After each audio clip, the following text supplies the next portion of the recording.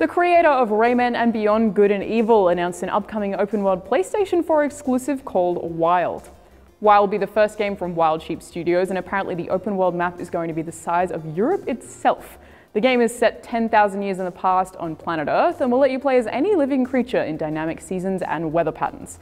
Wild sure does sound different to Rayman and Beyond Good and Evil, but I suppose those two games are kind of vastly different in themselves. On a more similar note, it looks absolutely gorgeous, and I'm looking forward to hearing a whole lot more about it. We don't know much about the gameplay just yet, but I'm sensing some exploration might be involved. Just a subtle sense of exploration.